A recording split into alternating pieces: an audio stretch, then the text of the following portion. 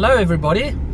I am on my way into the Clare Estate area, uh, Membury Road to be exact for those of you that know the area. Um, I've had a complaint of um, two snakes that the guy describes as being sort of brownish greyish. Um, he's got some builders on his property and they're busy removing a bit of rubble and they've come across these two snakes. So I'm about three, four minutes away. All right, so we are in Membury Road. We're just looking for the house now. Uh, Membury Road, for those of you that don't know, is a road in Clare Estate that is very well known for its um, black mambas and also the Mozambique spitting cobra. And that's because, as you can see down there, there's a big valley that runs all the way through, uh, all the way through here, and it meets up up there somewhere with the Palmiet Nature Reserve. So it's still very wild down there.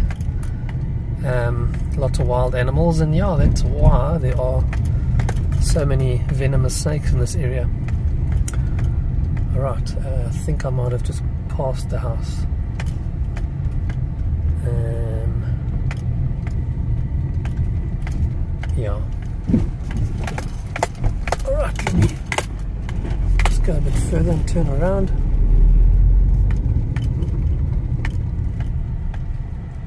Oh, wait a minute, we might not. Uh, I think it's there where the where the white bucky is. Yeah, that's the one.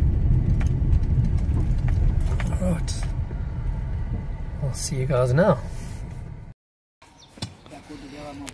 Okay. Can you show me? Like this one, yeah? Yeah. I think it's two or one. Oh, I think it's two or three. Really? There's two underneath the one. Okay.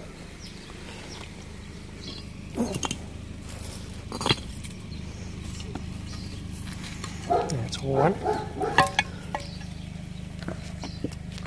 Okay, so that's a herald, guys. It's also known as a red-lipped herald. And it's called a red-lipped herald because they sometimes have red on the top lip. Let's see if we can see that. Yeah, there's a bit of orange there.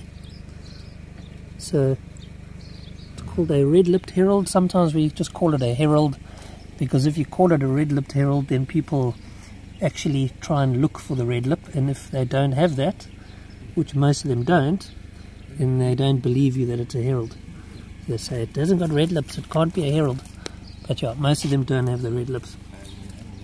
Anyway, they're quite feisty little guys. They can be very cheeky, uh, especially once they've been harassed a little bit. Um, let me take them onto the road and show you. Not that I want to deliberately tease it,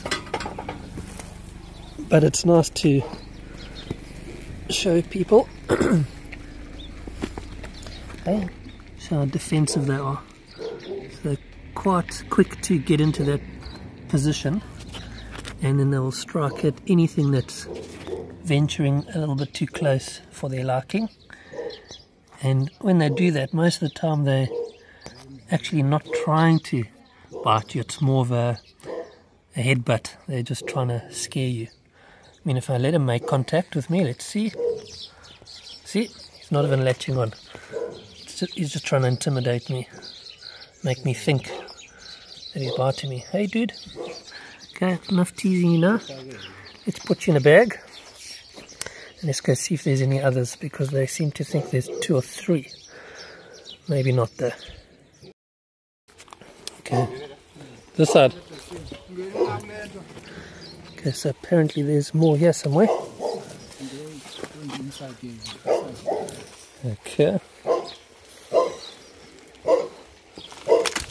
Abanga simsusela ebhesini. Oh, think he's in inside there maybe? Okay, nothing there, maybe. think it's under this? Yeah, indeed. That's inside. You went inside. Okay.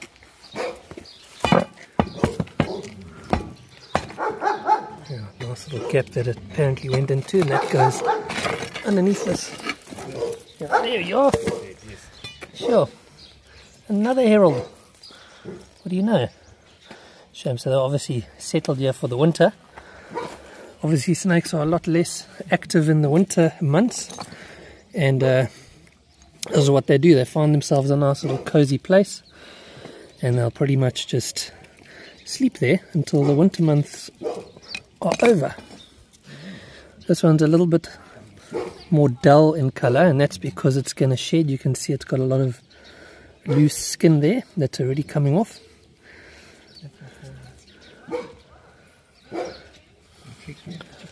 But yeah, that's another herald. This one, uh, it's also got a little bit of an orangey top lip.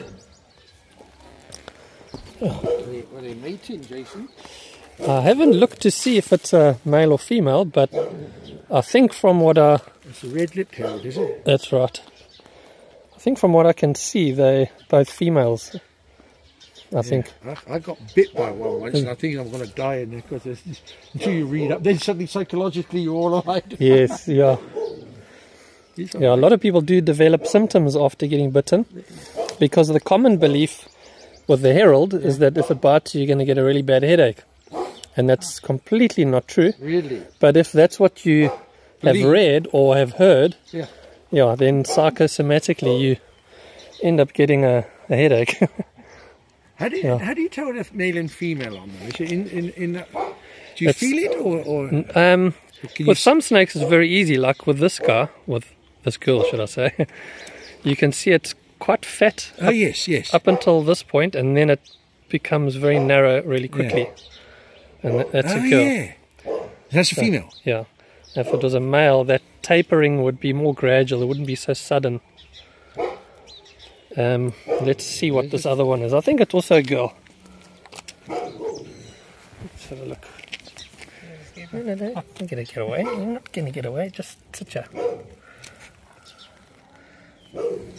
Give it somewhere to hide under the bag. Where's your friend? No, no. Come out. Okay, you go in, in the bag as well. Let's check what your friend is. Oh yeah, and that's a male. There you go. Tail. Is it? Wait a minute, let me just make sure. Might not be. I kind of need two hands. Would you mind hanging on to the phone and Certainly. Yeah. Thanks. So I need two hands for this. So I think it's a male, and yeah, it's a male. Oh yeah. Oh. Hang on a second. We'll invert the. Yeah, that's a boy. Yeah, it's male and female. It's quite unusual for them to be like hibernating together. Oh, so they would be hibernating now. Yeah. Oh, Yeah, I mean, they do look for each other and want to be together in the mating season, but it's not now. Um, and there's no other point for them to be together other than for mating. Uh, it may be just coincidence that they both happen to just find the same place. Yeah. Unless they really were trying to, you know, stay together, but I don't think so. It's just natural shedding, is it? Yeah. Yeah.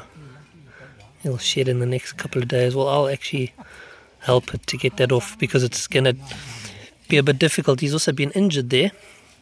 You see that? Oh yes. And that's very fresh. Obviously, when he got exposed, Yeah, shame. now maybe he got. And what Scratched can you up. treat that all right? Yeah, I'll just put some um, silver core cream on there or some Bactroban or something like that. Okay, okay. and then he'll the snake will form a scab. It'll scab over, and every time it sheds, that little injury will get smaller and smaller until it disappears. Okay, guys, you Can still you together? see the red on the lip there, Jason? Could you see With it? the one that's not shedding, you can see it a Oh, little there bit. it is. Yeah. there it is. And most of them don't have that. Is it Yeah, most specimens in Durban, at least, really? don't have any red. So it becomes quite a confusing thing when you tell people it's a red-lipped herald. And, you can't find the red. Yeah. And then they don't believe you. Yeah. They say, no, this snake's not a herald. It hasn't got red lips. cool. Good stuff.